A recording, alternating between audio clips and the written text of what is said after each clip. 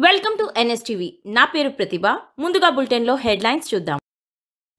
తెలుగు గంగా రిజర్వాయర్లో విద్యార్థి గల్లంతయ్యాడు. దువ్వూరు మండలంలోని చల్లబసాయపల్లె సమీపంలో గల తెలుగు గంగా రిజర్వాయర్లో సోమవారం విద్యార్థి గల్లంతైనట్లు ఎస్ఐ చప్పలరాజు తెలిపారు.